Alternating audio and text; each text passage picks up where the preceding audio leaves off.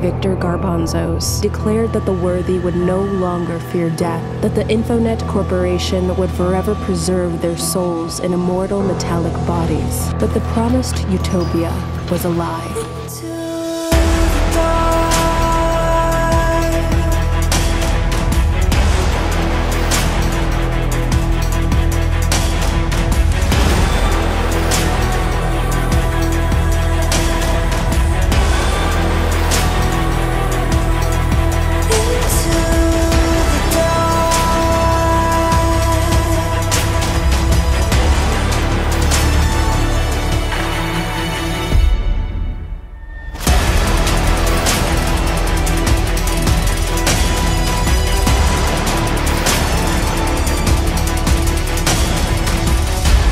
I will end this.